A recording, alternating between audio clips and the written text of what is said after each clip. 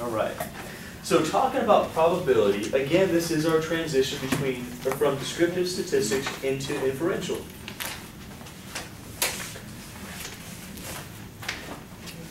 So we're talking about probabilities. This is chapter four.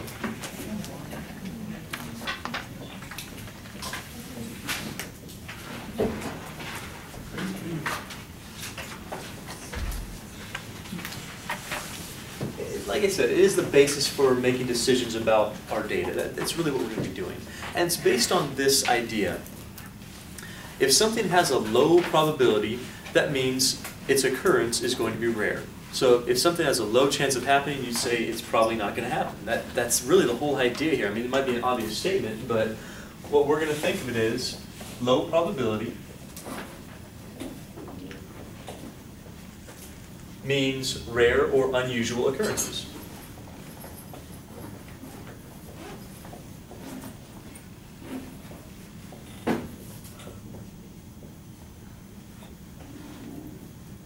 Occurrences two hours, one hour. I never know. I think it's two. Like that. One? Is this occurrences?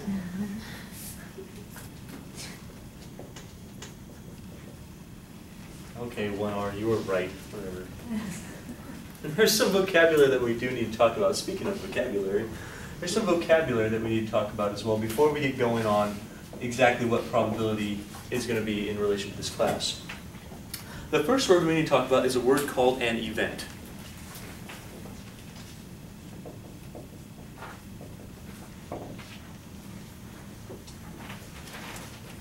Event in statistics doesn't mean event like in, in English. Uh, in English, an event means you're having like a party or something. That's our event.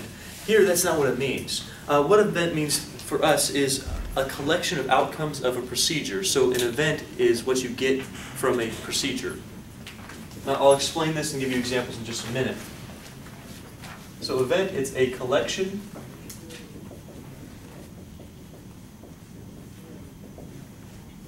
of outcomes of a procedure, so something you're doing.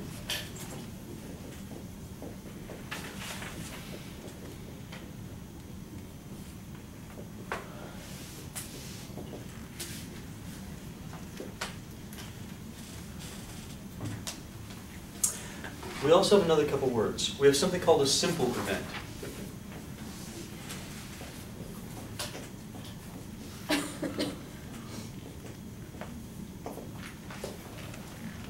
A simple event is a single outcome, one specific single outcome. Don't worry, I'm going to flesh all of this out with an example in about two or three minutes.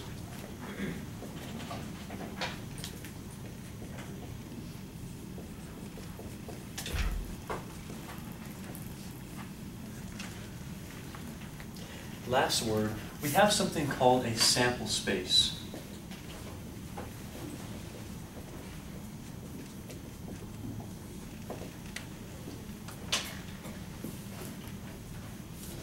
The sample space is everything that could possibly happen, all the simple events.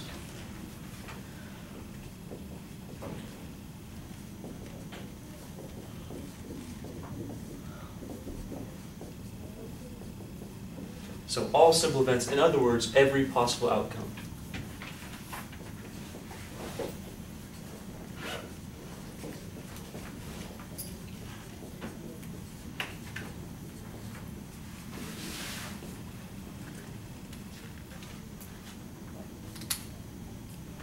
So an event. Event is something that can happen when you do a procedure. Procedures such as rolling a die, flipping a coin, something that involves some chance in there.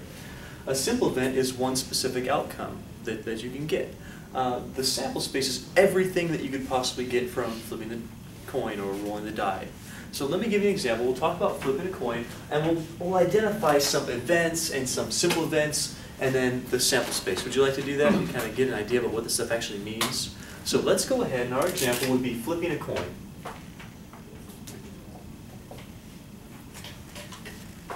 So our procedure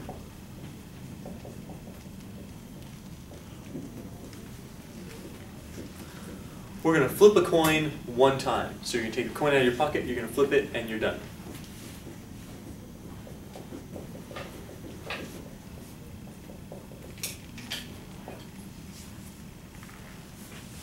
You all understand the procedure, right? Mm-hmm. Flip coin, cool.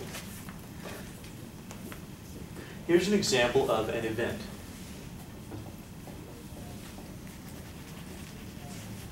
An event could be, what can you get out of the coin?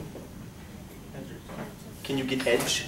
No, you usually edge. Wouldn't it be cool if you just flipped it and landed on the edge? Has it ever happened to you before? Has it ever happened?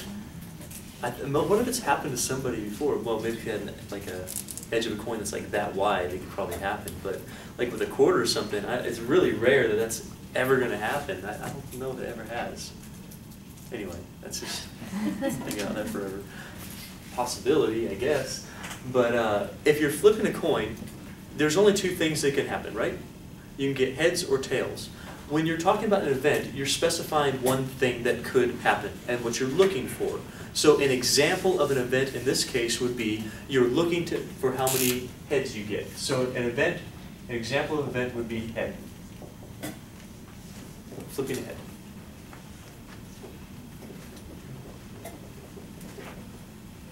Which coincidentally, that's also a simple event, one thing that can happen. Our sample space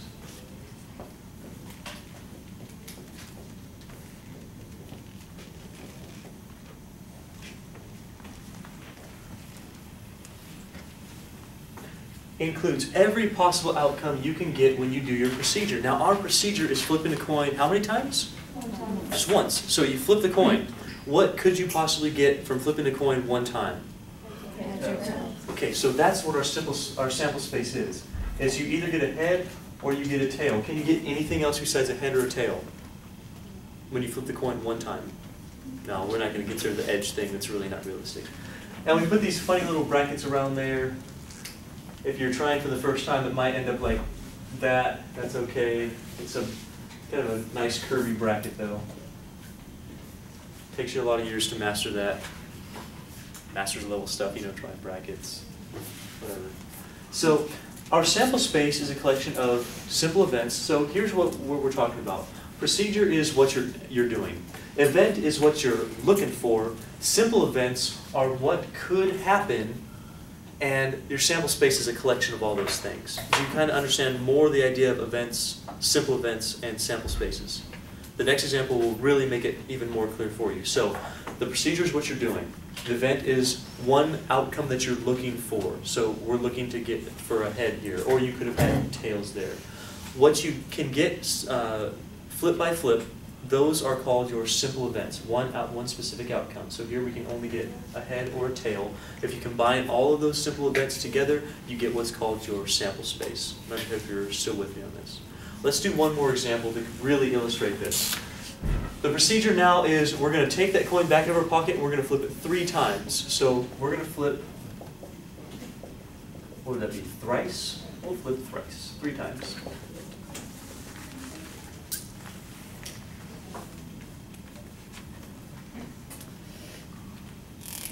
If you flip a coin three times, what could you get? Well, you get heads or tails for the first one, right? But then you flip it again. What could you get out of that one? Okay, then you flip it again. What should you get out of that one? So, an event is like this. An event says, what, what possible combinations could you have? Those would be considered our events. So one event would be, I'm looking for one head and two tails. That's an example of an event. One specific outcome of your, your procedure. Does that make sense to you? So this says, okay, one thing that could happen here is I get a head and two tails. Now, we're going to find out each of the simple events. So what are the simple events that could happen? What could you get when you flip your coin three times? Three heads. You could get three heads. That's a good place to start. So you get all three heads.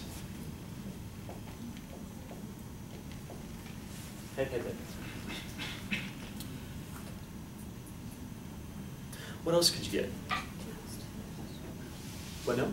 You get tails for dudes. You get tails three times, okay, that, maybe put that down here.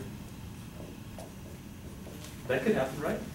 These right now, what we're finding, these are simple events, they're single outcomes that we can get from flipping a coin three times. Can we get just a single head? Not if you, well, I'm sorry, can you get just a single head and no tails? Not if you're flipping it three times, right? You're gonna get three distinct things that happen, a head, a head, and a head. A tail, a tail, a tail, what else could I get? Okay, so I heard two heads, what, what do you mean, two heads and one tail? Sounds a little weird, whatever. Uh, I mean, in order, like, you can get two heads and a tail uh, several different ways. One way could be if you go head, head, tail, right? Give me another way. Head tail head. Head, tail, head, that's another good one, okay.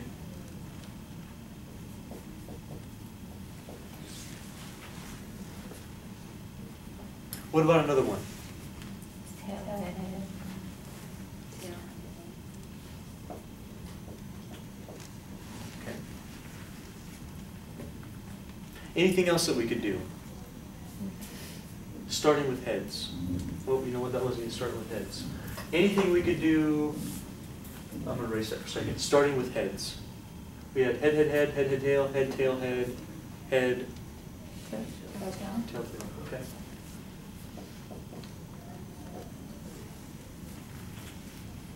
So these are all this, all simple events starting with heads. We could do head, head, head, head, head, tail, head, tail, head, head, tail, tail. Let's do the tail ones. We could have tail, tail, tail. Give me some other things that we could have here.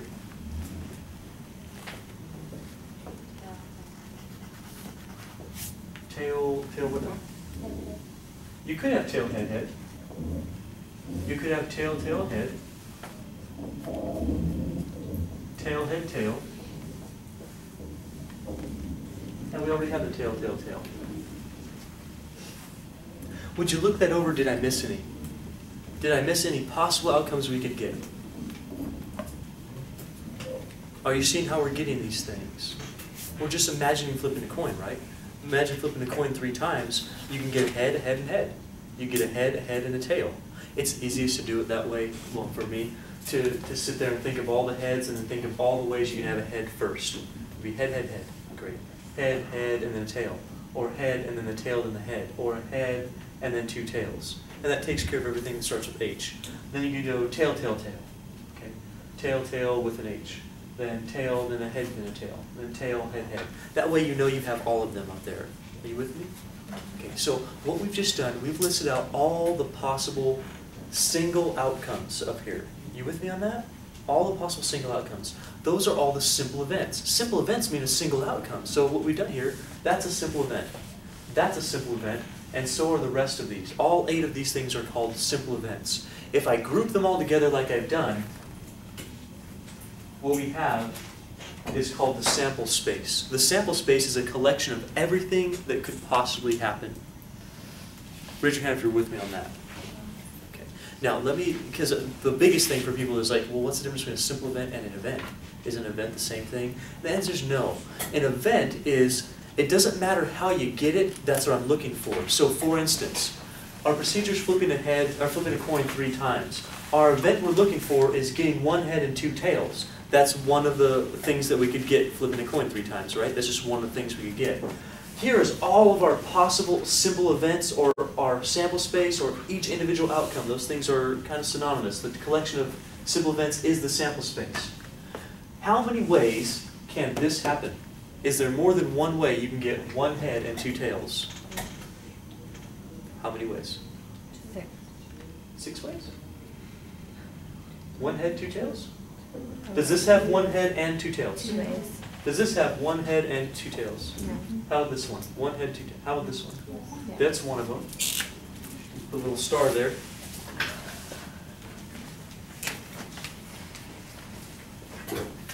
This one? This one? One head, two tails. This one? This one?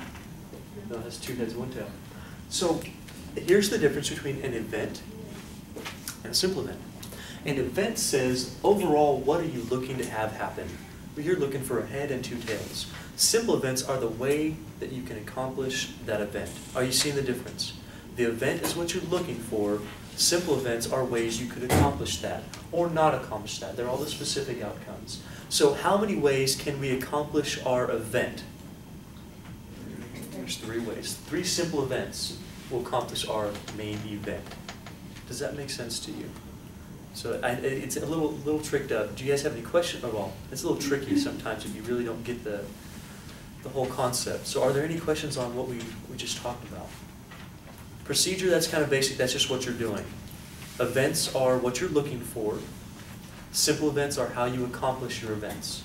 They're individual outcomes. Some of them are going to accomplish your events. Some of them obviously are not going to accomplish your events. Let's try one more. I want you to do it.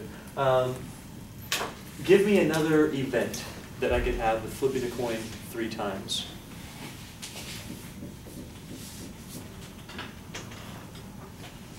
What's another event? What could happen? Can anything else happen besides one head and two tails? Okay, give me one.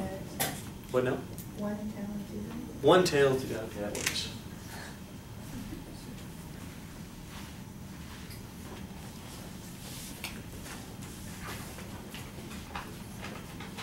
One tail, two heads. Okay, is there any other events that I could have? What's that? Three heads. How many tails? Well, none, because they're all three heads. And the last one we could have is what?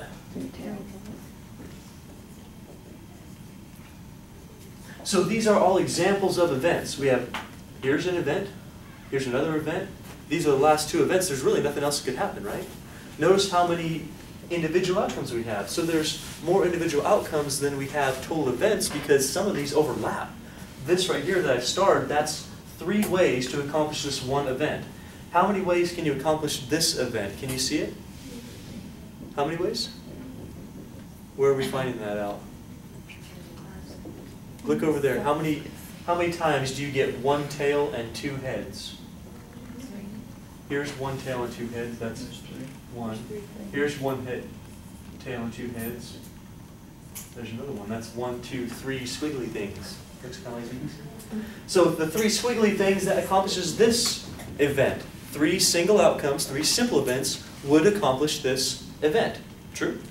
Okay. How many ways can you accomplish this event? There's only one. Boxy thing. Boxy thing does this one, and circle thing does that one. I'm joking around, but I mean, this, this is the relationship between simple events and events. Events are the overall thing you're looking for, okay? That's it. Simple events are the individual outcomes that you could get from your procedure. Some of those simple events are going to satisfy your event. Maybe only one. Maybe up to three. Maybe more than that. If we were flipping a coin four times, you could have lots of outcomes that, that satisfy your event. Do you understand the relationship between procedures, events, and simple events, and the sample space? Sample space is not a problem. You just collect all the individual simple outcomes, and that's it. Or simple events, and that's it. So, now that we understand that, we can really use those words to kind of describe some probability. So let's do that right now. When we say probability in this class,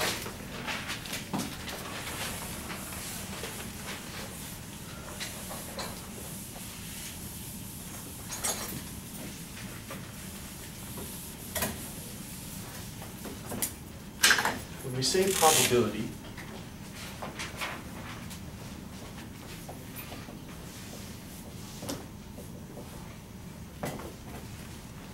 we're talking about the likelihood of an event occurring.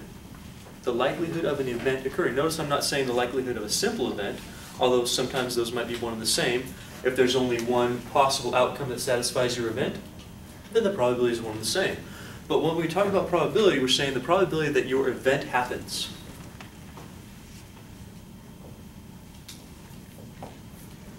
Or the likelihood, the likelihood of an event occurring.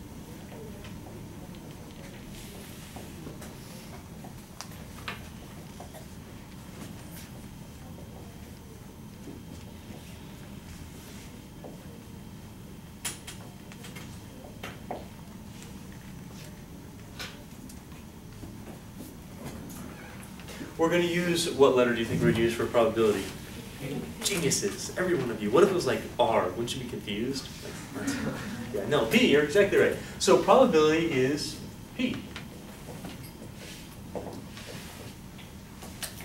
Events are usually listed with capital letters. So if we're talking about event A, we're just going to say A. So A could be uh, flipping a coin three times. Event whatever you're talking about. So we, we can list it. You can even list it in words. You don't have to use the letters. But if we're talking about an event, so for instance, event A, or you could write flipping a coin three times, or anything like this, B, C, etc. If we're talking about the probability of an event occurring, the way we write that is we say probability of A. That doesn't mean multiplication, it's not like algebra, it says probability of A. It's more like a function notation if you want to consider it as something. You're finding the probability of this event happening, basically. And so this means the probability of event A actually occurring.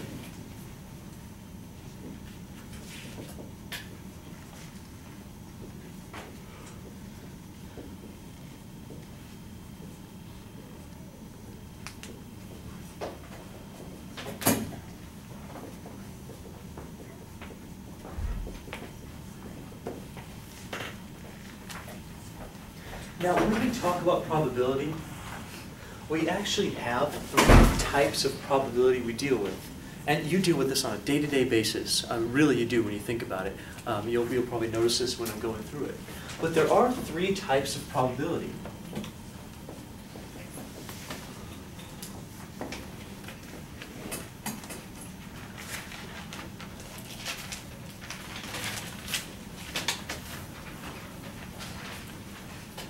The first type of probability is what you get when you actually perform an experiment.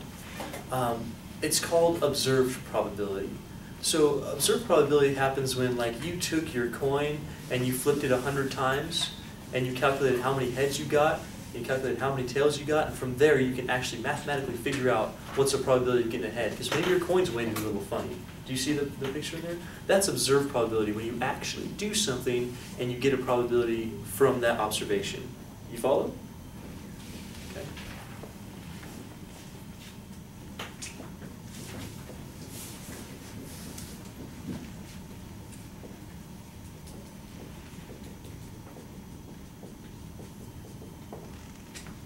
So observed probability, it's probability that is estimated based on your observation.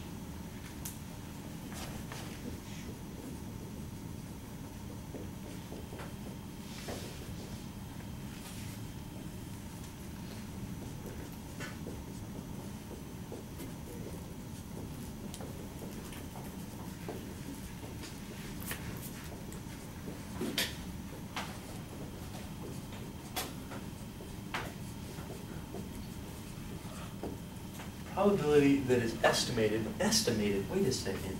Why estimated? Why isn't it exact? Well, can you ever do a procedure for so long that you that you've accomplished all let's see, let me, let me rephrase it a different way, that doesn't make doesn't flow right. Can you ever perform a procedure so many times that you've exhausted all the possible times you can do it? For instance, could you flip a coin until you can stop flipping a coin anymore? Can you do that forever? So can you calculate the probability if you can't do it forever? Exactly? And the answer is no. You can't flip a coin enough for you to have an exact probability. All you can do is say, maybe I flip it 100,000 times. Is that enough to get the probability of flipping a coin? The answer is pretty close, but no, not exactly. I mean, you're not going to get the exact probability of flipping a coin by doing observations. One, the, that's why it's called observed, and it's estimated. You observe it for a certain number that you decide on. Say, I want to flip a coin 100 times, and after that, I'm going to calculate the probability it's going to be estimated. It's not going to be exact because I can't flip that coin forever. I don't want to. Going to flip it a certain number of times to make sure that I have at least a good sample of uh, outcomes there. Does that make sense to you? So we can't do it forever, that's why it's estimated.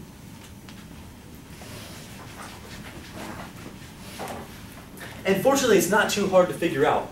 If we want to find the probability of A here,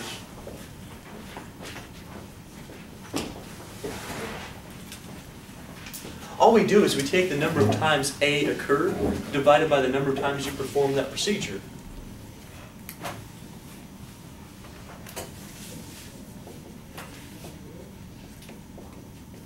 So number of times A occurred, remember A is your event.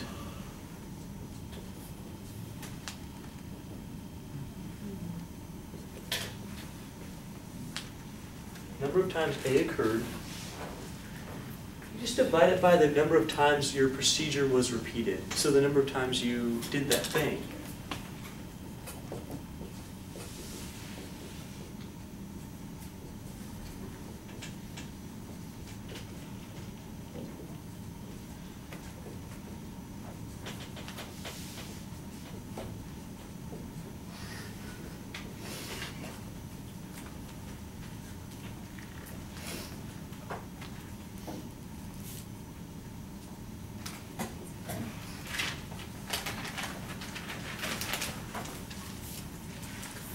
Give you all three of these, and then we're going to, I'll give you some examples, so we can calculate these things uh, independently and figure out what they are.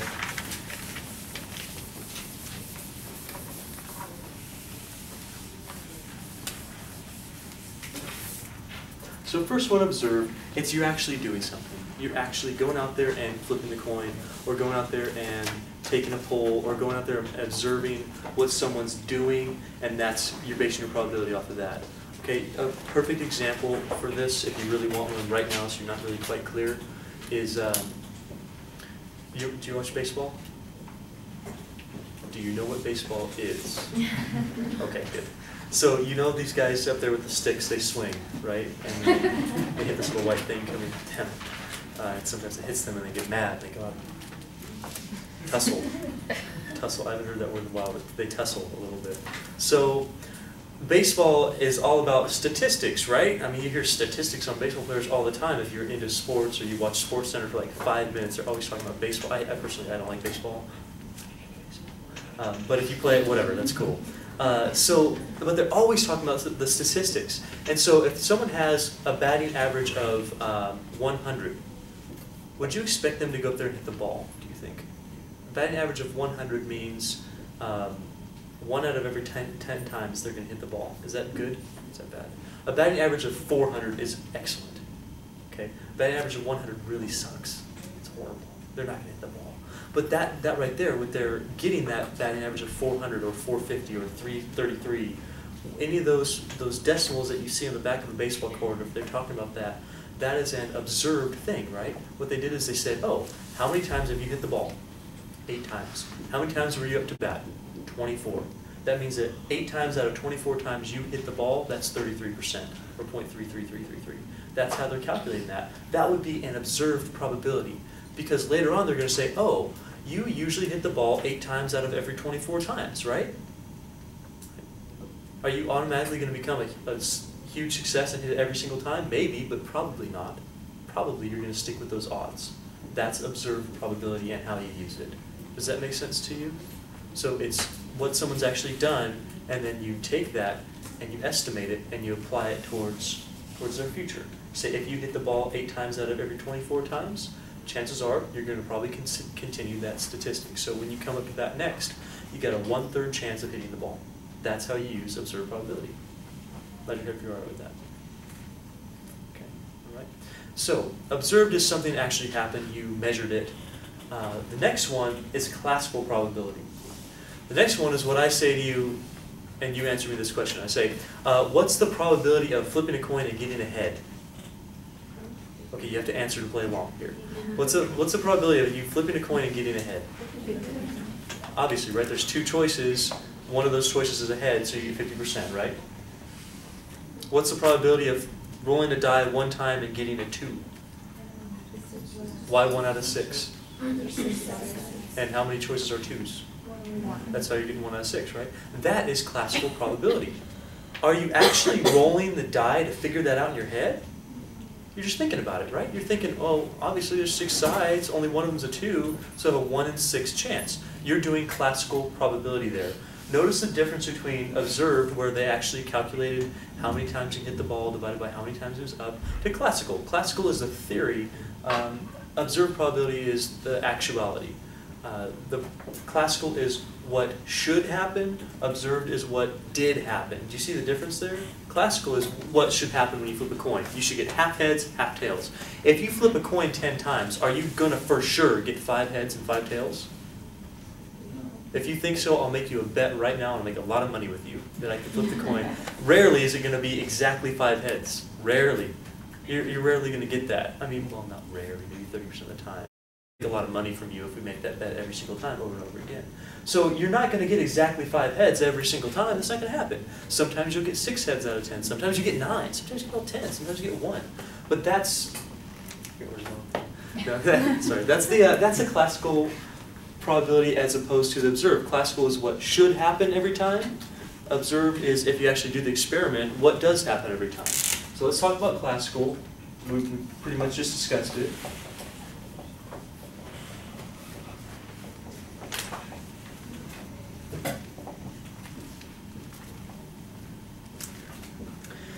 This is the probability based on the chance of something occurring.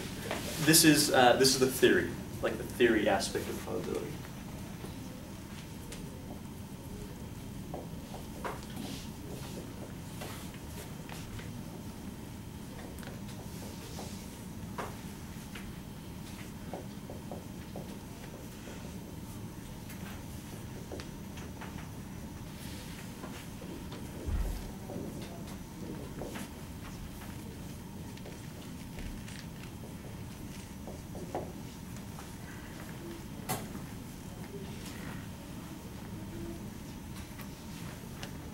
By the way, for classical probability to work, um, each event has to have an equal chance of occurring. Each simple event has to have an equal chance of occurring.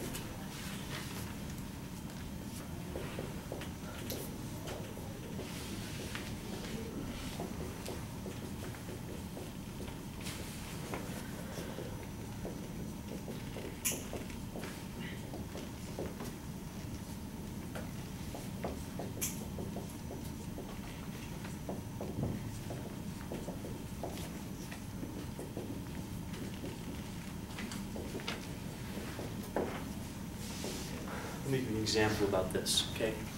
Let's say that you had, uh, because this statement, people are like, well, why? Why does it have to have an equal chance of occurring? Think about this. Let me give you a die, and I'll tell you it's a weighted die. Okay? It's a weighted die. What's the problem? Do you know what a weighted die is? They put die in a corner so it comes up certain numbers differently. Um, used in Vegas sometime, or they used to, to get sevens all the time. I would never do anything like that. But anyway. Um, the simple event must have an equal chance of occurring means that if I give you a weighted die and I say, what's the probability of two, you can't say one sixth anymore because, well, you don't know. You don't know what the weight is. So in order for you to do the theory approach, the, the, uh, something that has a chance of occurring, you have to have an equal chance there, right? The only way you were able to figure out one sixth earlier, um, when I said, what's the probability of rolling a two, is because you thought that every side has an equal chance of happening, right? That's why you did that. That's why when you said, well, it gets a it, head 50% of the time when you flip a coin once, because you figure heads and tails has an equal shot, don't you? That's what classical is based on. It's based on every simple event has an equal chance of occurring. Now, the way that we did this, you've already done it. I mean, you know classical probability intuitively. That's what we talk about most of the time.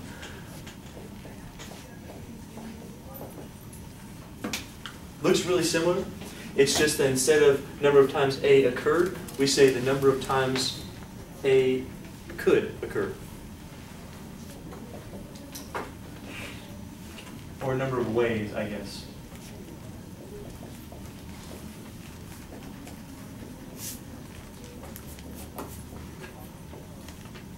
Divided by the total number of possible outcomes again.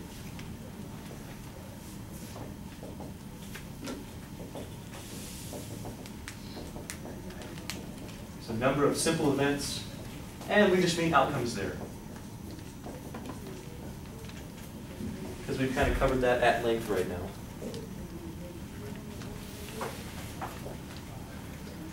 I need to recap just a little bit before we go any further. So you really need to understand the difference between observed probability and classical. I'm going to ask you on your test. I'm going to give you a problem and say, what is this? calculate probability, tell me if it's observed or classical. That's going to be like three or four problems on your test. Uh, so you need to be able to identify, are you doing something or are you just thinking about it? That's the difference. If you're observing something or someone has observed something, that's observed probability. If you're just thinking about uh, how many times could you get a two if I'm rolling a die, if it's something like that where you're actually not doing anything, you're just thinking about doing something, that's the classical. So what I'll write up here is observed and classical. This is what could happen.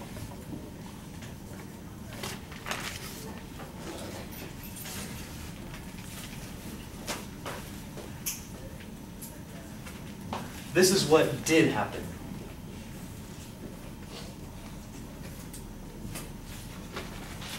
You know what, let me replace could with should. This is what should happen, not could. This is what should happen. This is what did happen. Last time I'll use this example, but if you flip a coin 10 times, what should you get? You should get five heads, five tails. If you actually did it, are you going to get five heads, five tails? Maybe, maybe not. If you do the observation, you might get six heads and four tails. That's what did happen. So that's the difference. You can do the same. You can think about the, the probability. It should be 5 out of 10. You can do the probability. It might not be 5 out of 10. Those things could line up, but they don't have to. But the act of doing that procedure, that's observed and calculating it, the act of just thinking about it and figuring out what should what should be, that's the classical how we will understand the difference. Okay. The last thing we have to, have to talk about is called subjective probability.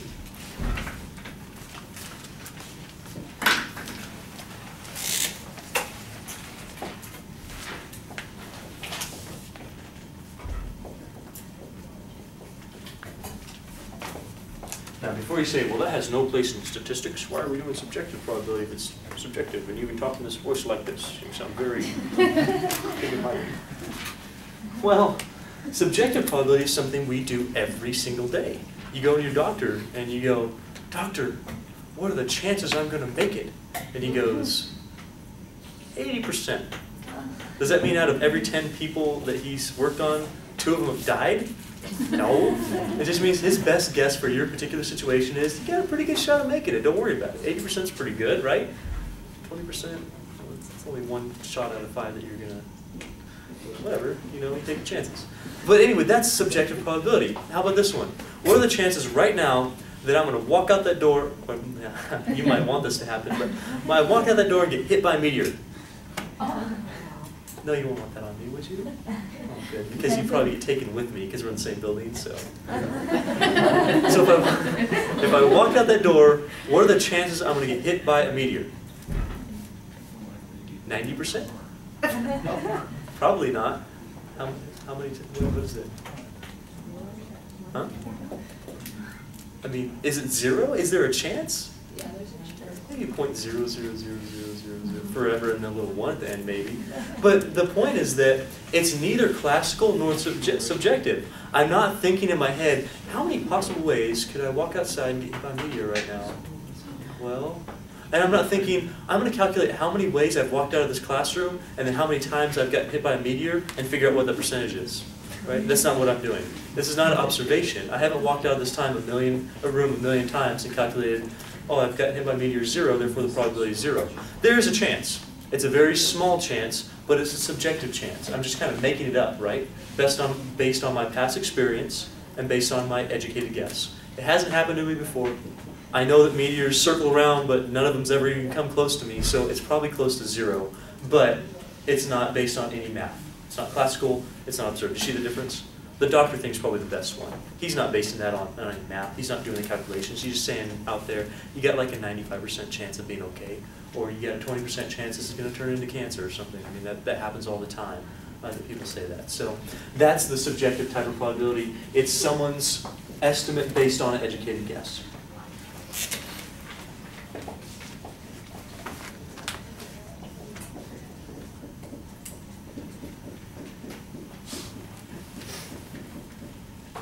Now, let's go ahead and do some examples here and see what we can find out about these things, whether they're classical or observed, and then we'll calculate the probabilities as we go.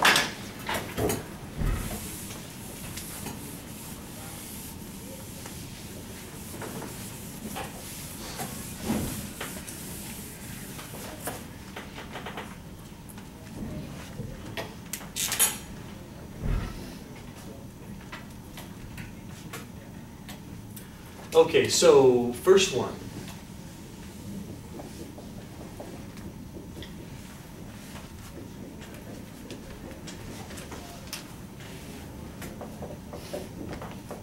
The probability of selecting a heart heart like that like that kind not like the beating heart I mean like the like the heart shape. From a standard deck of cards if they're shuffled up and everything random selecting. So someone holds up do you know cards? Okay, some people they, they're not familiar with the cards. Cards have four suits diamonds spades clubs hearts. Uh, there's 13 of each suit Okay, so there's 13 hearts, 13 clubs, 13 spades, 13 whatever I didn't say, and there's 52 total cards, right? Uh, cards are labeled 2 through 10, then you have Jack, Queen, King, and Ace making up 13 individual numbers for each suit of cards. If you're not familiar with cards, get yourself a pack of cards because I'm going to be using that in some of our tests to illustrate this.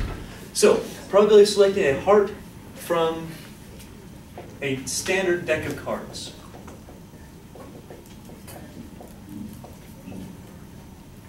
So we want the probability of heart. It's fine to use symbols like that. That's okay. We don't have to call it event A in this class. We just say we want the probability of finding the heart. I don't mean true love. That is zero. Uh, oh. cynical, cynical. Just kidding, just kidding. If you found true love, congratulations for you. No, no, no. It happens all the time. Anyway. Um, I better not have my girlfriend watch this video. so, anyway, we're going to calculate the number of parts there are divided by the number of total cards there are. So how many parts do you have in the deck? Parts in the deck. Oh, Okay. And how many total cards? Calculate the probability. How much is that?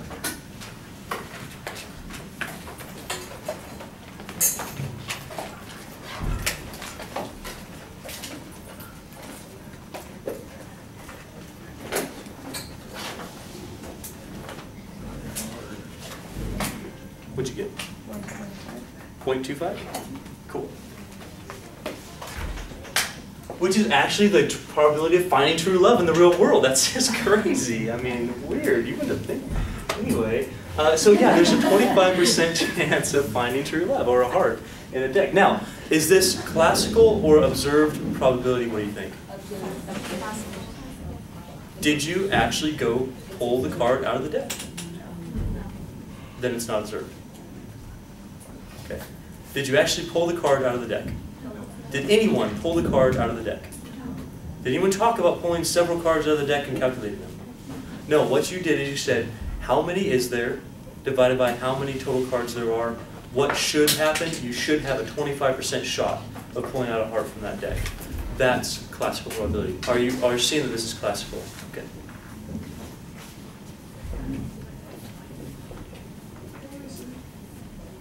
This is what should happen.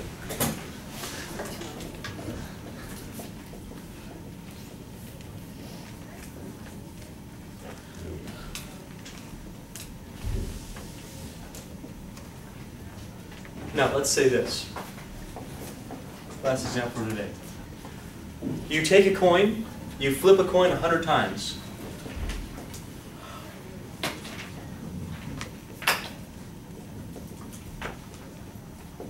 You happen to get 64 tails.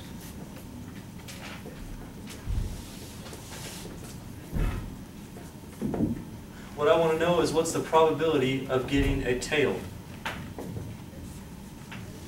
Find the probability of getting a tail. Here's how we did this with, uh, with observed, we, or classical, either one. You found out the number of possible things you had. So in our case, how many times did we actually flip the, the coin? How many tails did we find? Well, this shouldn't be too hard to figure out what's the probability there.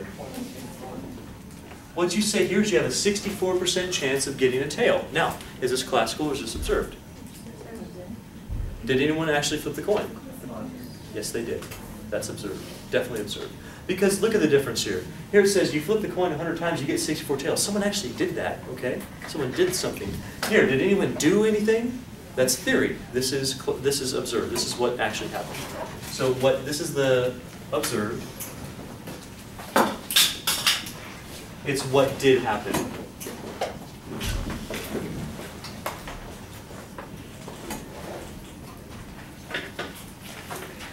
For subjective, use the doctor one. You have an 80% chance of, of being okay. How many people understood what we talked about today?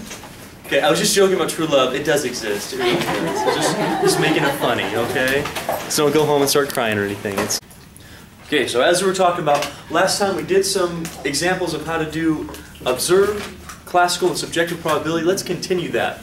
So if you didn't know, my favorite quarterback, who unfortunately isn't playing anymore, I guess, is Peyton Manning. Do you know who Peyton Manning is? Yeah, he's injured. Yeah, right. His neck or He'll something. be out two months. See, if he was just a real man, he'd just play with a neck injury. That's smart to do, right? That's his second surgery. yeah, third surgery. His Third third. surgery, Yeah. yeah. No, I'm just kidding. You never want to mess with a neck injury. So I've heard. So I've heard. I guess it's important somehow. Connects a couple things. Anyway, Peyton Manning, when he first started out, I'm making this statistic up, but he's pretty good, so it's probably true. Uh, completed 385 out of his first 528 passes.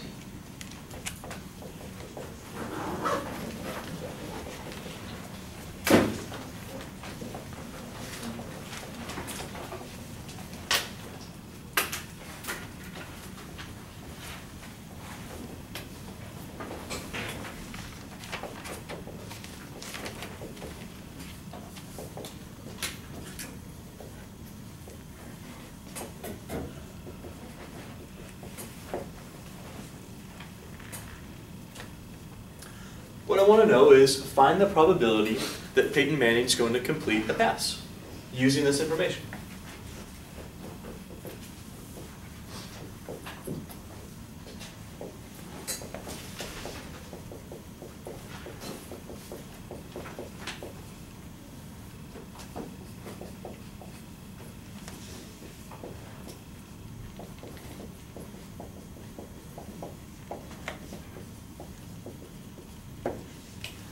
Okay, let's talk a little bit about the vocabulary of the statistic stuff, this probability that we were talking about. Firstly, can you tell me what the event is here? What's the event? What are we looking to have happen? Because that's our event. Not just a pass, but what about the pass?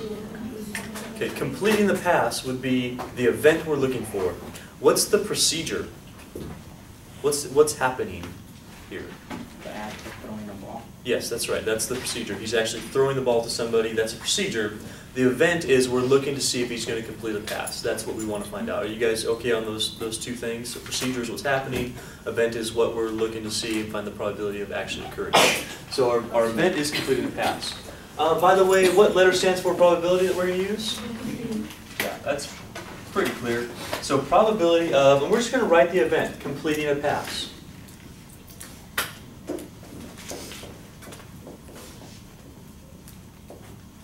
Now, a lot of people, if I asked them, eh, or if you went out on the street and you said, um, can you tell me what's the probability of Peyton Manning completing a pass? This would be the same idea as if you went outside and asked some people who really don't understand probability, what's the probability it's going to rain today? And they say, oh, well, 50%. It's going to be 50% whether he's going to complete- complete a pass or not because either he's going to complete it or he's not. Either it's going to rain or it's not. That type of logic, do you see how that's kind of like false logic for what we're talking about? That there's a whole bunch that goes into calculating whether it's going to rain or not today. Uh, probably it's not going to rain. I'm, I'm not. I'm thinking it's probably not 50-50, right? Because it rain like half the time all the time. That that wouldn't make sense. We know if it's like July 20th, what's the probability it's going to rain on July 20th in the Central Valley? Pretty close to zero. Yeah, it's not going to rain. What's the probability Peyton Manning's going to complete a pass? Well, it's not 50-50 because he doesn't complete exactly 50% of his passes. In order to make such a judgment, you actually have to consider his past practices, what he's been doing.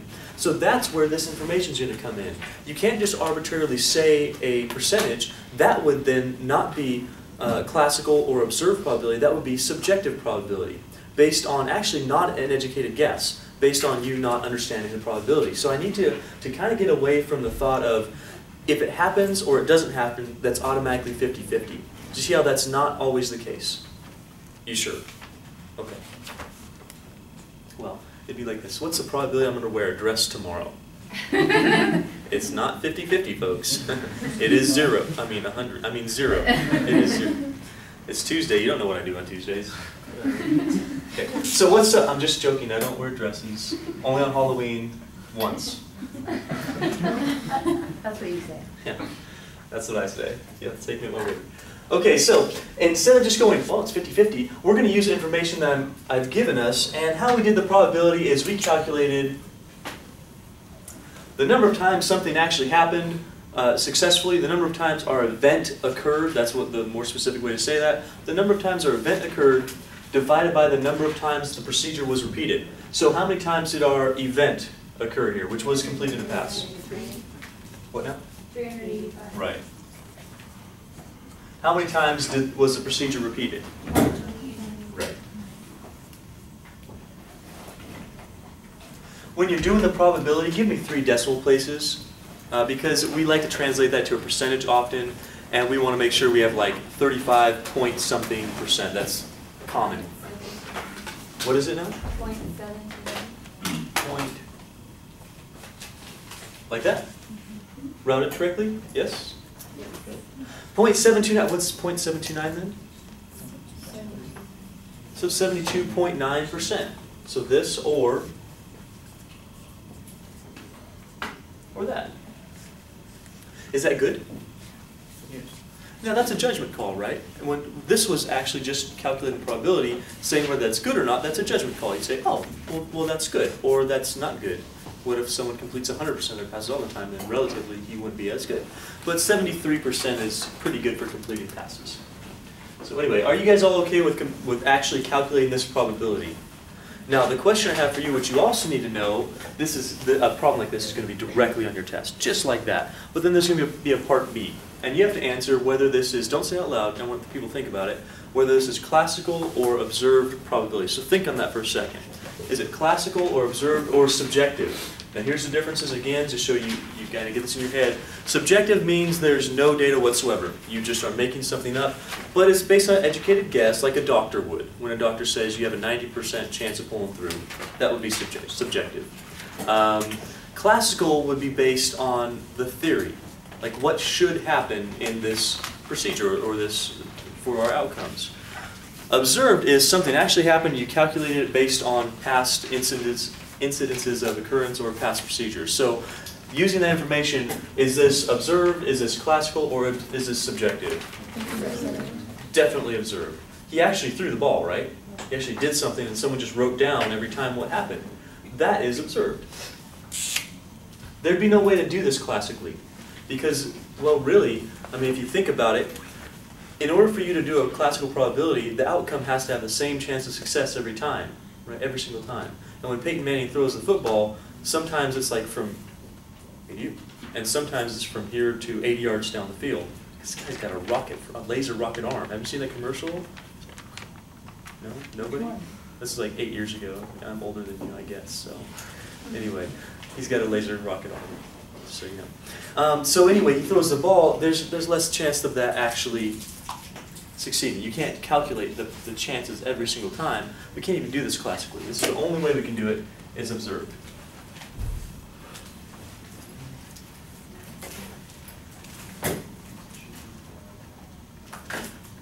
Let's look at a couple more.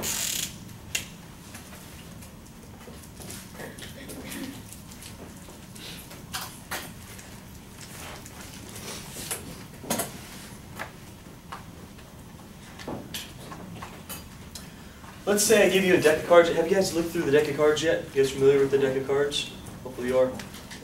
So given a standard random deck of cards,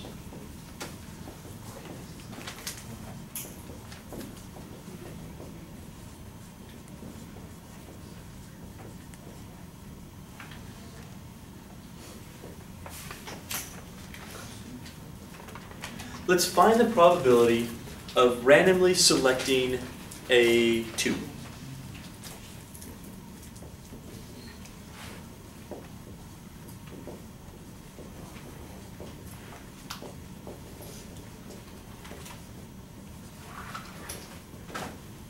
So we want to find, here's how you would write this out, the probability of 2. What's our event in this case? Say that louder. Selecting the two. That's the event. What's the procedure? Procedure. What are you actually doing? Picking the card. Or what are you pretending to do, I guess? You're, yeah, you're picking a card. That's the procedure. Uh, picking out one card. The event would be we're looking to see what's the probability of finding the two. That's the difference between a procedure and an event. Okay, so if we're going to do this,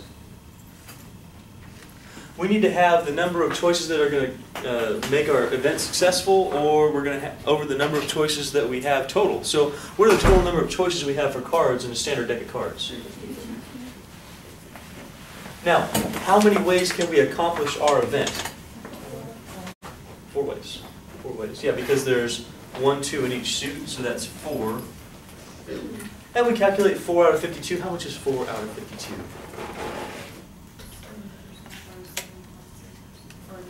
Point zero seven six. Point zero seven. How much is that as a percent? Seven point seven. Yeah.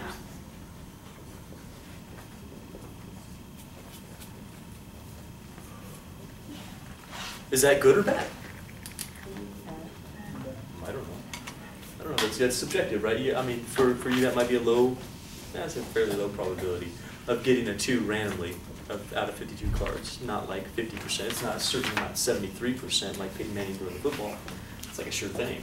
But um, random deck of cards, you're selecting a two. Now, is this subjective probability? Are we just guessing here? So it's definitely not that. Is it observed probability or is it classical? What do you think? Why isn't it observed? We can actually go through the motion of taking the cards out and saying, oh, we got a two, put it aside, and then, oh, we'll keep going, oh, we got another two. Right, you didn't. You, you, you didn't do that at all. It's not like Peyton Manning, right? He actually threw the ball, and you calculated that. You didn't say, oh, I drew a card out and put it back um, 83 times. And out of those 83 times, 21 of them were twos, or something like that, or five of them were twos. You didn't actually do a procedure here. You just calculated the what should happen in your procedure. Do you see the difference here between the Peyton Manning example, where he actually did something, and this example? Now, could you turn a card example into an actual observed probability? Answer, sure you could, if you just took the deck of cards and did it. You know, so if I gave you this on a test and said, okay, a person drew out five cards with replacement from a deck of cards. He got one, two, um, a jack, a king, another two, and an ace. What's the probability that gonna that you are going to pull out a two from this deck of cards? You'd have you had two twos that pulled out out of 52 cards. That would be your, or, I'm sorry, out of five tries.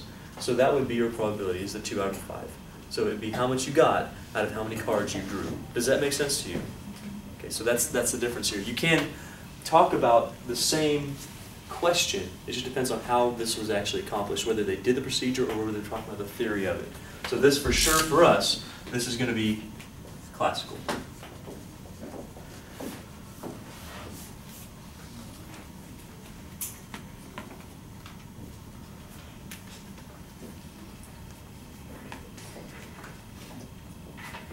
You know, a while back, someone did a poll on cloning, back when uh, stem cell research was just kind of coming out, this was a few years ago. And stem cells, people thought they were going to be using those for cloning, and so they did this, this poll on whether people thought cloning, sorry, cloning people was good or bad. So here's the results of that.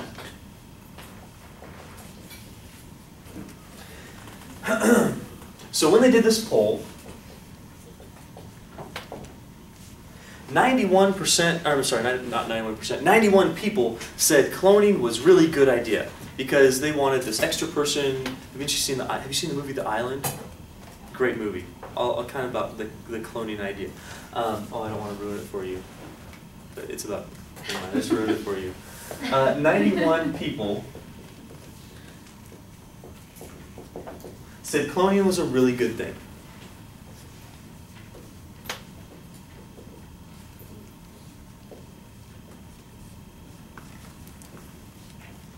Cloning good.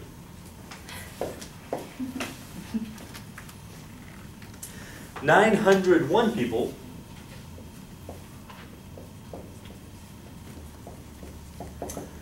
said, you know what, I'm not really so sure about this cloning thing.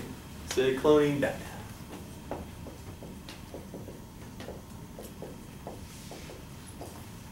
Cloning bad.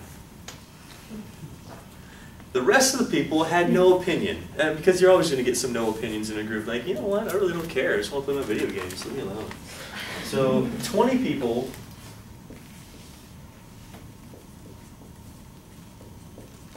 No, maybe they just didn't know. They, they really don't have the information. They haven't really thought about that. They didn't have any opinion.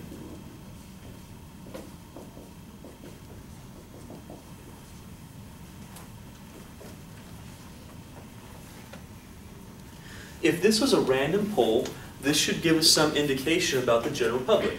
Whether you can go outside right now and ask somebody about cloning, whether they think it's a good or a bad idea. If this was collected randomly in the methods that we've used earlier in this class. Remember talking about those, like the systematic sampling, or the stratified, or the cluster sampling, all that good stuff? So let's pretend this was done that way. Maybe it was. I really don't, I don't remember where this came from. But let's say it was. It should give us some indication about everyday people. So let's go ahead and find the probability that we can go outside right now and randomly select a person who thinks cloning is a good idea.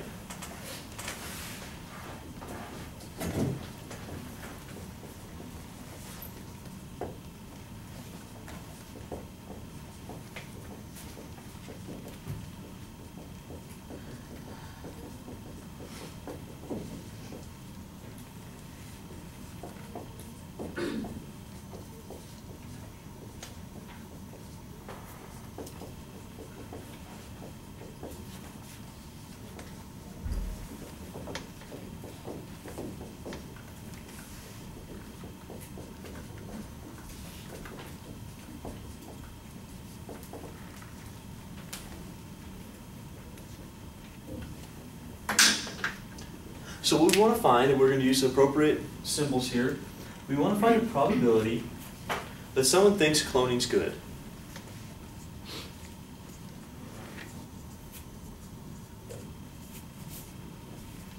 How in the world are we going to figure this out? How in the world? Firstly, before we talk about that, can we determine whether this is um, classical or observed or subjective? Is it subjective? Is it subjective? No, it's based on some data here. So is this going to be classical or is this going to be observed? What do you think? Yeah, it's based on some something that actually happened, right? Some people went out there and collected data. Polls, hopefully listen to this. Polls, poll, not okay. polls. Like, what do you think?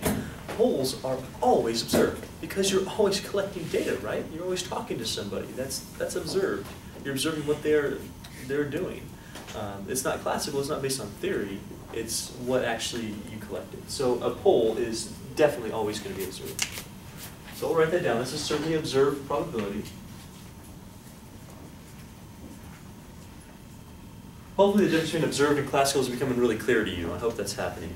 Now, how do we calculate observed probability? Well, it certainly is still division because that's how our probabilities are calculated. We calculate the number of people or number of things that accomplished our event divided by the number of times our procedure was repeated. So, the number of times that we accomplished our event, which was cloning was good, how many is that? How much? Say it louder. 91, very good. Cloning good, cloning good, 91 people. 91 people. Out of how many people? What do we have to do to find how many people? Is it out of 91? Is it out of 901? Um, Add them up? Add up these two? Good, because even the no opinion people, they still took that poll, right? They just didn't categorize themselves. So we add all that up. What now? Like that? Sweet. That's how many people were involved in this poll, in this procedure. So we calculate 91 divided by our 1,012, and to the third decimal place, we get what?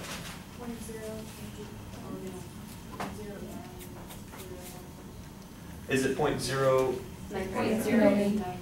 eight nine nine? Good, the nine moves that nine up to a ten, but, it- okay, good. So basically nine percent. So right now going out there, th- what this suggests is that randomly picking out a person, you should have a nine percent probability of getting someone who thinks uh, cloning is a good thing. So maybe that's higher now, who, who really knows, but this is a, this is an old poll. But that's how you would calculate uh, such things. Which makes you feel good about what we've talked about so far today. Good, that's fantastic.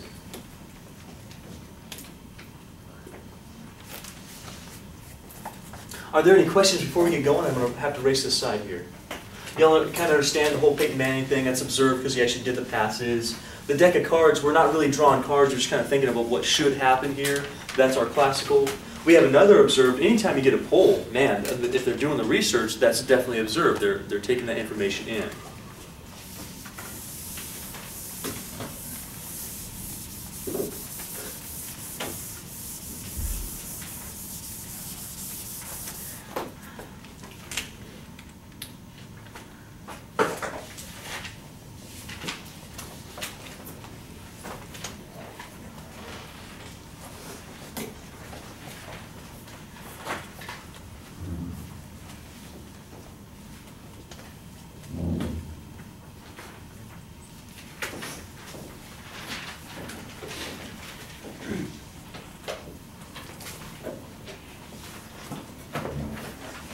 There you go.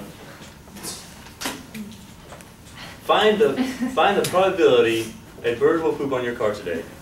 If you wash your car, it always happens. They're right out there, right on the freaking goodness darn birds. Wish I had a BB gun. Every bird. Anyway, so find the probability a bird's gonna poop on your car today. Um, is that going to be a classical probability we're gonna find? What do you think? Is there a way to tell how many ways this event can happen? How many ways can this bird poop on your car?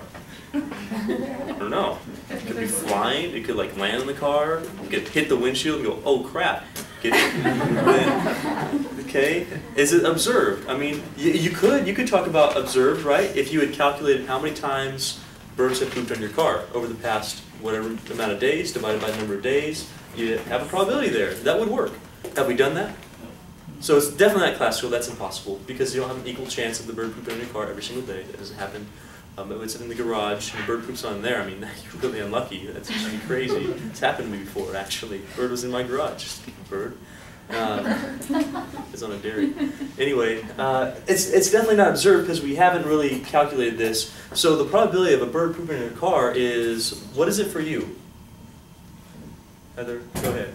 Um, it's subjective. It is subjective, but I mean, what's your probability Um, for, for your car today? Would you say like 10%, 20%? sure. Sure. Good, good thing I just put words in your mouth. Okay, how about over here? What's the probability, Karina, someone's gonna, not someone. That'd be really bad. really unlucky. That some, some bird's gonna on your car. What would you think? Twenty percent. 20? See, for me, it'd be like 50%. My car always gets pooped on. That's another thing about subjective, right? It can change person to person. Um, so if you can think of the probability and you say, well, for me, that's 20%. uh, Maybe your car never gets pooped on, it's like 5%. For me, it's like 50 to 70%. It always gets some, I park under trees, so I mean, duh, it's going to happen. But subjective probabilities can do that, right? They can change. Can classical and observed change? Now, this is based on hard evidence. Um, this one was based on complete theory, which isn't, is not going to change. Okay, so that's another way to kind of view this as well. So find the probability this is this stupid bird's going to take a dump in your car. Uh, it depends on who you are, but this is certainly going to be subjective. And it probably depends on where you park. If you're parking by the beach and there's lots of seagulls, then yeah. Okay, let's go ahead and do one more. I'll give you a couple, uh, couple notes that are important for us, and then we'll continue to talk about some complementary events and what that even means. Let's find the probability that if a couple has three kids, two of them are going to be boys.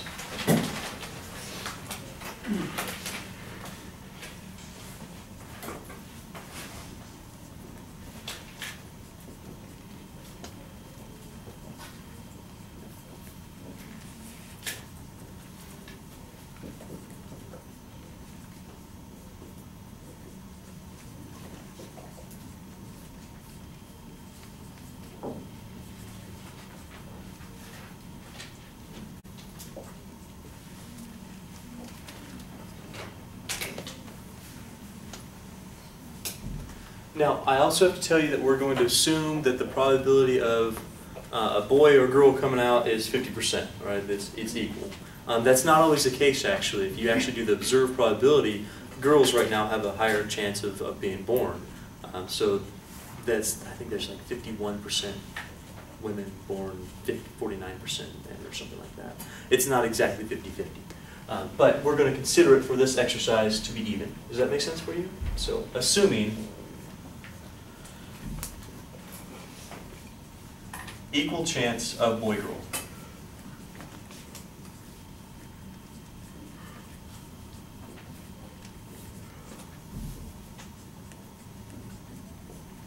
So an equal chance of boy girl. Hey, what firstly is our event? What's our event here? Having a baby. Having a, okay. Firstly, how many babies are we having? Are we having just one? Can we ask the question, um, if you have one baby, how many ways can you get two boys? If you have one baby, you cut them in half. You guys are sick. Weird people, my goodness. Okay, so firstly, what is our procedure even? What's our procedure? What's happening here? What now? You can say it if you're wrong, it doesn't matter. It should be video recorded, everyone in the world's gonna hear it. No, seriously, what is our procedure? What are these people doing? They're making babies. Having babies. making babies. That'd be a different class. Okay, they're having babies. Um, so how many babies are they having? Are they having one babies? I mean, three. That's our procedure. The procedure is having three children.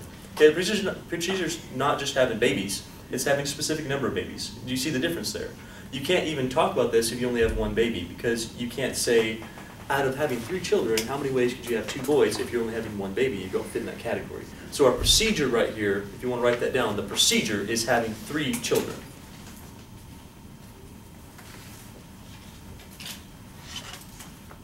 Now the event is based on that procedure. What's the event? The event is what you're looking for. What are you looking for? Two, two what now? Two boys. Two boys and what else? Hopefully, hopefully you get a girl if mm-hmm. you have three kids. I mean, you're not just gonna get two boys and nothing, right? Girls count too, guys. Mm-hmm. Girls count. Well, if you have two boys, what's the other one? Girl? A girl. We hope. Right? It's going to be a girl. So we have two boys and we have one girl. We're not going to get three boys. That would not be our event. So right here, I, I guess I will write this down for you. The procedure is having three children.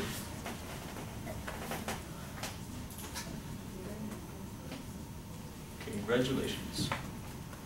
Having three children. The event is getting two boys. If I say two boys, that means out of three children, one of them has to be a girl. So we want to find the procedure, I'm sorry, the probability, I'm sorry, of our event, two boys, one girl. Oh my. We're gonna bring up some other, other words that we haven't talked about in a couple days now.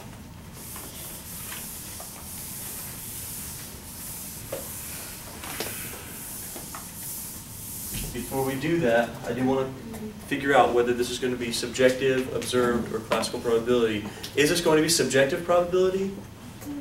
We're going to be calculating stuff over here. We're not just going hmm. thirty percent.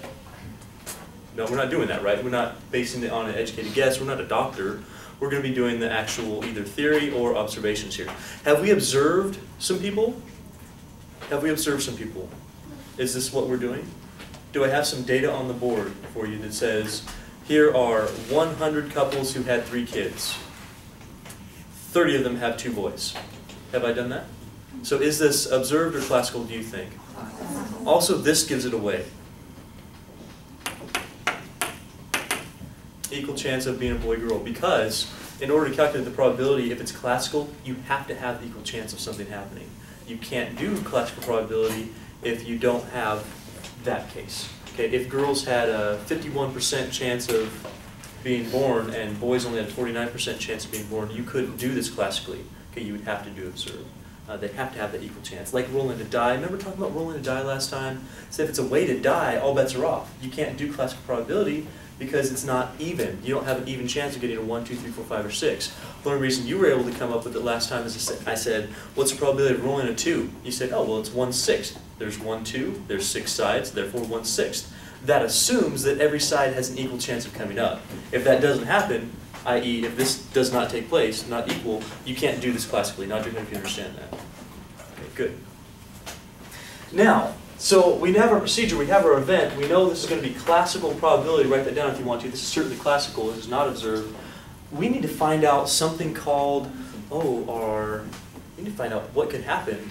What could happen is, our whole, whole group of outcomes is called our, this is called film.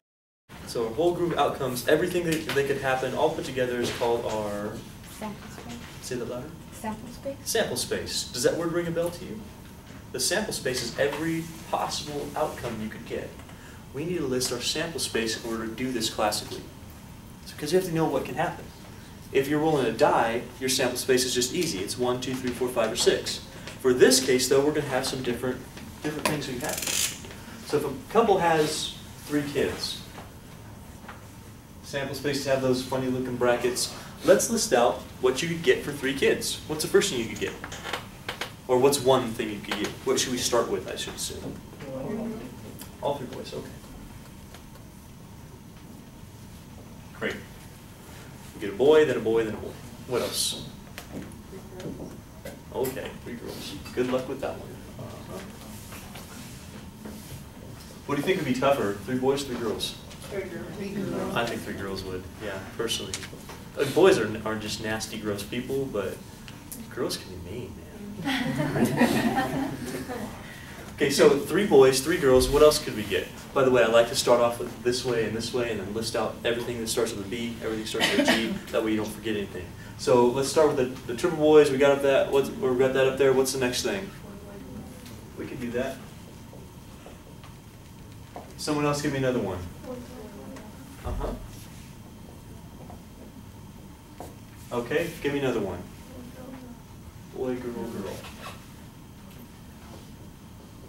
Anything else starting with a B?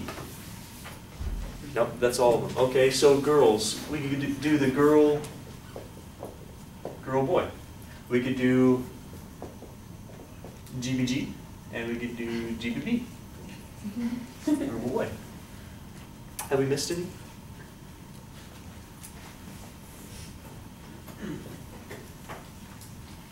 Now, before you start saying, well, Mr. Leonard, I mean, aren't some of these the same? Like, isn't, wouldn't this be the same, having two girls and one boy, and then having a girl and a boy, then a girl? And no, people, I mean, we have individual personalities, right? These are different people.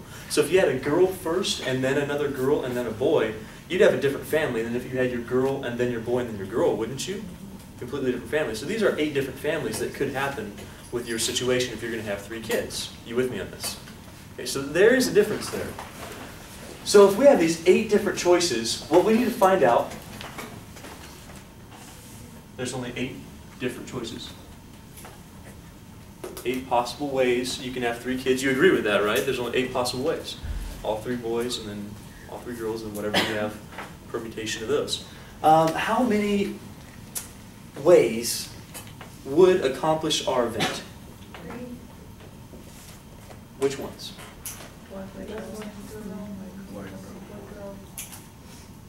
No, no, it's not that one. That's two girls, one boy. What I asked for? Two boys, one girl. Oh, this one? And the next one. Good. On the bottom. Good. Very good. Yeah, anything that has the two boys and the one girl. Because we didn't say what order, right? We just said ultimately two boys and one girl. There's three, three ways that that can happen.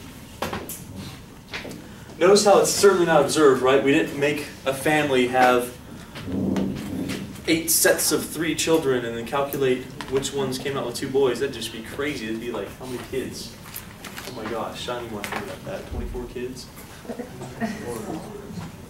So eight, eight ways we can accomplish our event out of eight possible outcomes. Remember, these are called, these things, each individual one are called what? What are these? No, these aren't probabilities. The probability is what we're calculating here. This is our sample space. The sample space is made up of every individual, what type of event? This is an event. That's our main event. Main event of the evening, vote is right here. And then we have mini events called, starts with S, rhymes with imple. Imple, imple, not ample. They're simple events. They're, they're an, an individual outcome. So we need to get this down, folks. You need to know what a procedure is, what's going on. An event, what you're ultimately looking for. Simple events, how your procedure can be accomplished, and the way we find our probability is take the things that accomplish our event divided by the total number of simple events. That's what we have right here. And that'll give us a probability. And the sample space is everything? Sample space is this. Yeah. Everything that could happen. The sample space is made up of simple events. What is this? One, three, seven. So thirty-seven point five percent. So you know, right now, if boys and girls have an equal chance of occurring, which they, they, they're, it's really close, so this is gonna be very accurate for us. If you were to go out there right now and have three kids, don't do that without thinking about it. Um, You're gonna go out there and have three kids. You're gonna have a thirty-seven point five percent chance of having two boys and one girl. You'll also have a thirty-seven point five chance, percent chance of getting two girls and one boy. Because there's, there's three more of those probabil- probabilities. Can you find the probability of getting all three boys? What's that? One out of, one out of eight, or all three girls, one out of eight. Thankfully, that, that's a lower chance than two boys and one girl. Or two girls and one boy.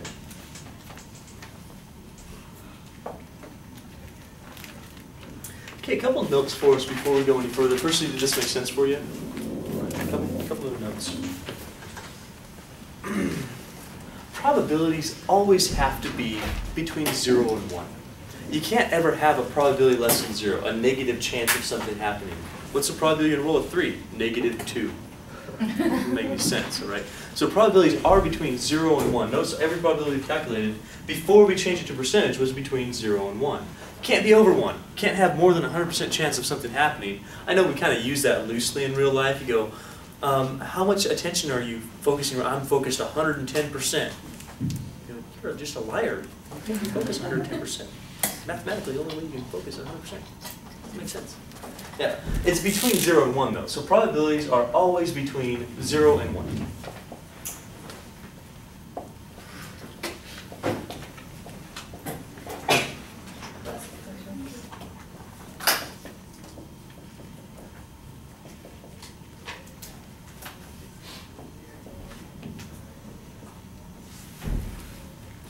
And you can be zero. What would a probability of zero be? Mean, what, what does that imply about your event?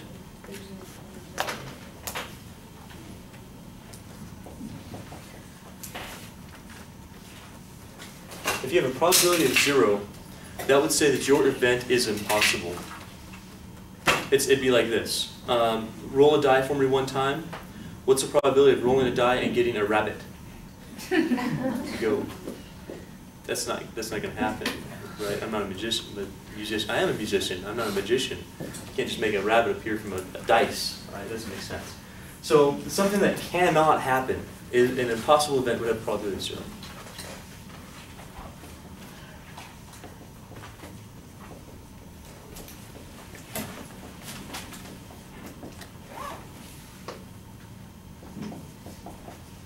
With that in mind, what's the probability equal to one imply? What now? Well, this is possible. That's not equal to one. That's certainly possible, right? You can get two girls and a boy, or what did I say? Two boys and a girl. You can get that. So probability of one means it's more than possible. It's certainly more than impossible. Oh, duh. Probability of one means more than just possible. What's it mean? It will happen. It's certain. It's certain. If I say there's a hundred percent probability that you're gonna have homework tonight, Oh, well, that sucks, huh? That means that it's certain you are going to have homework tonight. Hundred percent probability, P equals one means a certain event.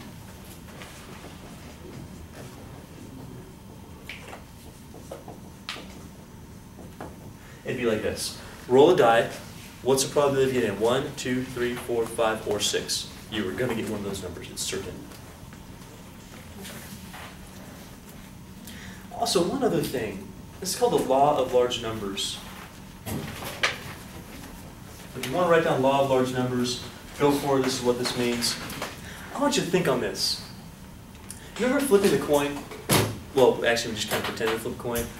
If, we, if you took your coin out and you flipped it 10 times, are you for sure going to get, let's say it's a weight, a nice evenly weighted die, so the probability of getting heads and tails is 50-50.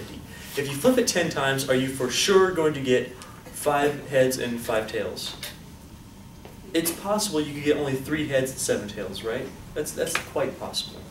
If you flip it a million times, you're probably not going to get exactly 500,000 heads and 500,000 tails. You're probably not going to, going to get that. But as you increase the number, the observed probability is going to get very close to the classical probability. For instance, if you flip it 10 times, you might not get 5 and 5. If you flip it a million times, it's going to be pretty close to 50-50.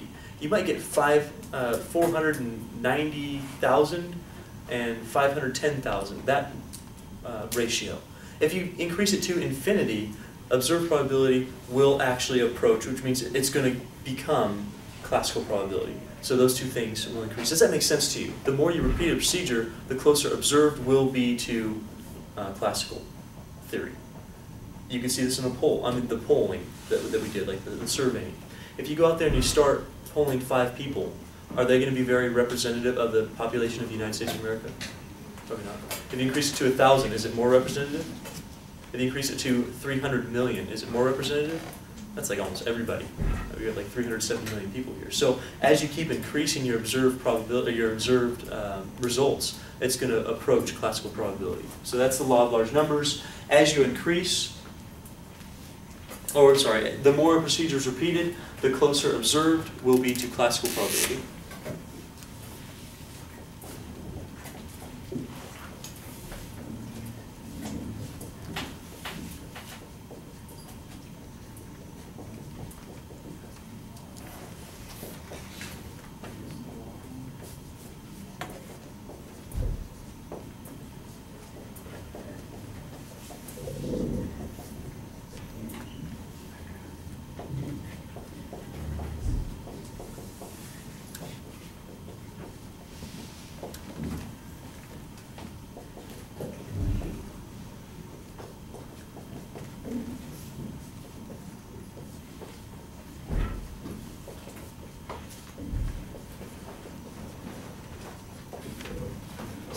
More procedures repeated, the closer observed probability will get to classical probability.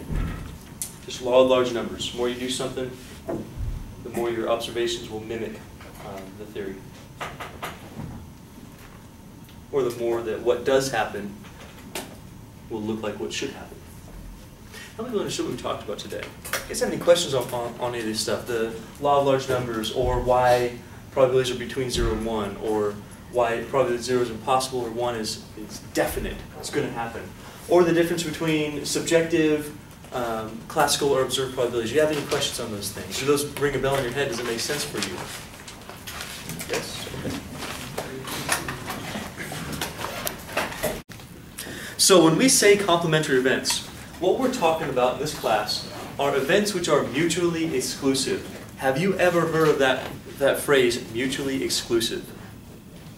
Have you ever heard of it? Never heard of it? Mutually exclusive is, is, is this idea, if I can say it correctly, mutually exclusive. Some of these words are hard. It says if you're in one group, you're automatically discounted for being in another group. You can't be in both at the same time. You have to be either here or you have to be here. Um, unless you really, well, unless you're a strange dressing person, you're either going to wear shoes or you're going to wear sandals, right? You're not going to wear both shoes and sandals at the same time. I hope, because that would just look ridiculous. Unless you deal with those kind of Teva looking things, which are kind of shambles, shoe, sandals, or whatever.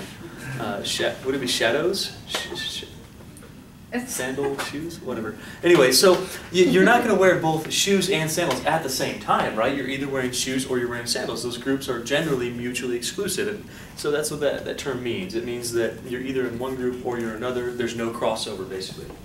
So when we talk about complementary events, what complementary events are, are two events which are mutually exclusive. I'll, I'll give you some better examples that relate to this class in just a second.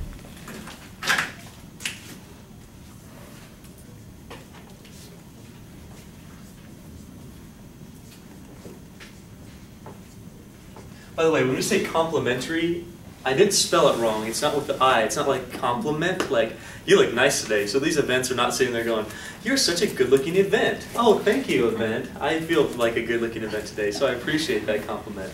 It's not that type of compliment. It's it's this. It's the definition of they're mutually exclusive. One doesn't happen while the other one happens. So they, they cannot happen at the same time. So complementary events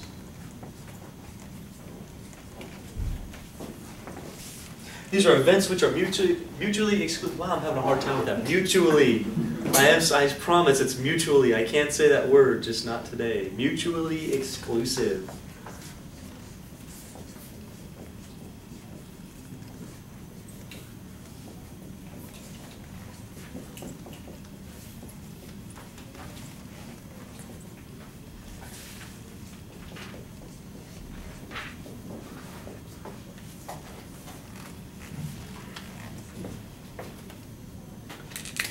The most basic definition I can give you for mutually exclusive is two events which can't happen at the same time.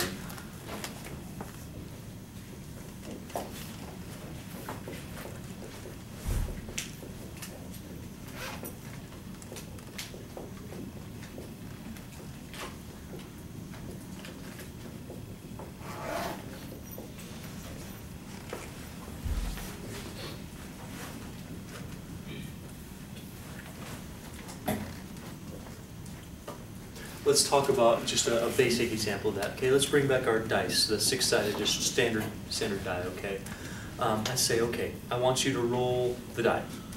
Can you get both a two and a five?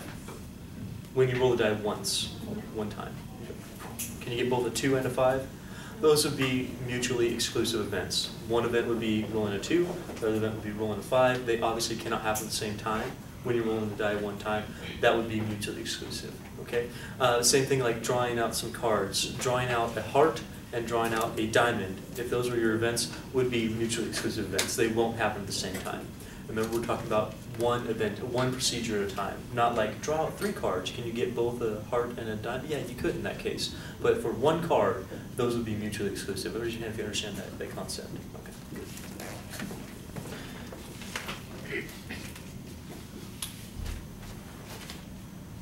Okay. So what, what is a complement?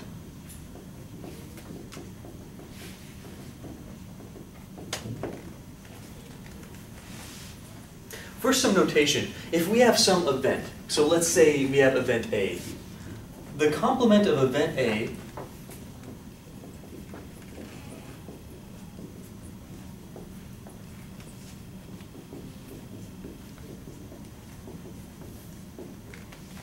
complement of event A is denoted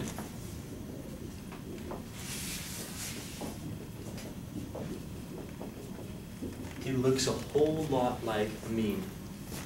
It's not, but that's how we write the complement.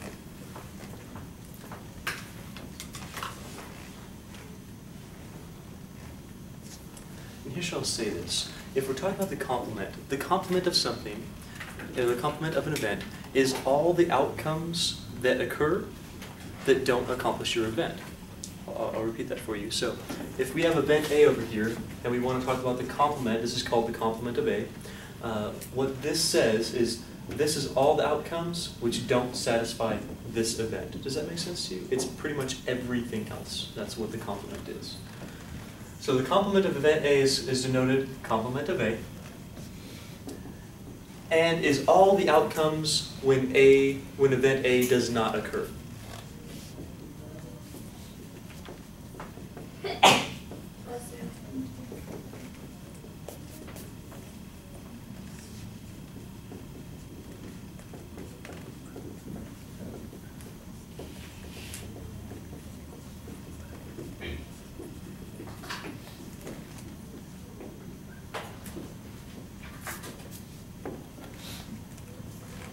does not occur. For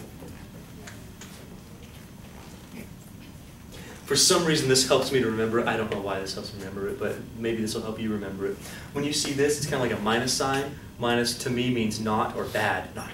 So if this is our event A, this means not A. So everything else besides A. All the outcomes that don't make A. You with me on that? That's how I remember it. Don't know if that helps you, but hopefully uh, that, that does. So let's do an example. Let's say that my event, let's go back to the, um, the dice rolling thing, okay? The event is, we're gonna look to see if we can roll a five. So rolling a five. That's our event.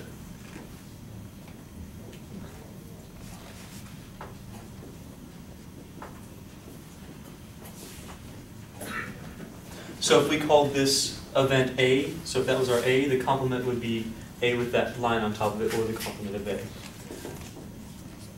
What is the complement of rolling a five on a die? What do you think? Complement of rolling a five. What else could happen, the way to answer this question, what else could happen when you roll a die that doesn't make a five? What else could you get, basically?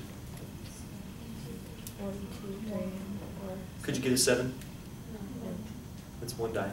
Could you seven? What else could you get besides a five? One, two, three, four, six. So anything besides the five would be the complement. You all stated one, two, three, four, six. Perfect. So the complement of rolling a five is not rolling five, or rolling not five.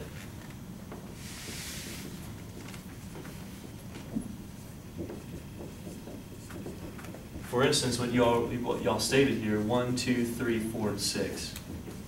That's a complement.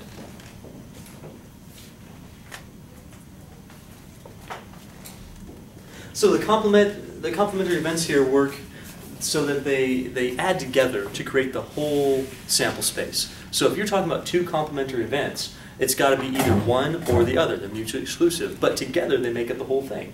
Can you get anything else besides a five or a one through six?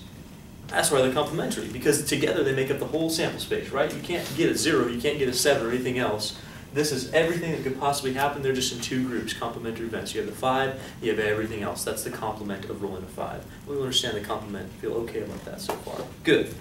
Now let's talk about the probability of these things. So what's the probability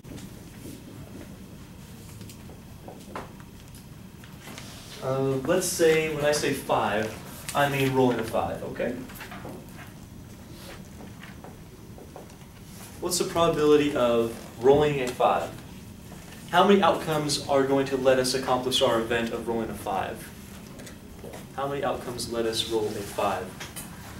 How many fives are on the die? So there's only one specific outcome that's going to allow us to accomplish this particular event. How many choices do we have? So our probability is going to be one out of six. You with me on this? Can you tell me, let's think about this. If you have two events which are complementary, which means you're either in one event or the other, and that takes care of everything that could possibly happen, true? What does the probability, what is the probability of the complement of five, or not rolling a five, have to be? Without even looking at how many choices, we can probably figure this out, can't we? Because you're either going to be here or you're going to be here. So why don't you tell me, if this is one sixth, what does this one have to be for sure? Five. Great. How much do you think the probability of an event plus the probability of the complement of that event has to add up to all the time? What do you think? Well, it's going to add to the sum. Sure. What's that sum have to be, do you think? What was that? One. One. It's going to be one. Yeah, if you add those probabilities, shouldn't you get one, which stands for 100% of everything, right? Because you're either you're either here or here. You're not you're not anywhere else. So if you add those probabilities together of the event plus the complement, that accounts for everything that could possibly happen. So there's uh, you're 100% certain you're going to be in one of those two places. Does this make sense to you? So probability of not rolling a five, and you, you can see it. I mean, there's one, two, three. There's five choices that you could have for not rolling a five. Out of our six possible choices, we get five, six out of that. And we'll write that little note. The probability of an event plus the probability of the complement of that event, it has to equal one all the time.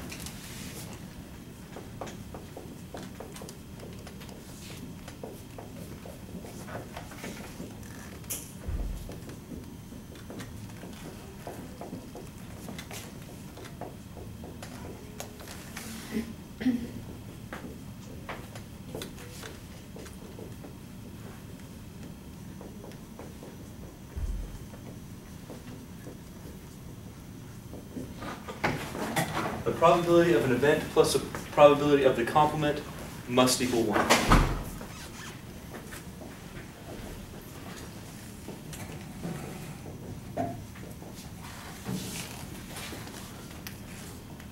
In more basic terminology, if you have the probability of some event plus the probability of its complement, well, you got one.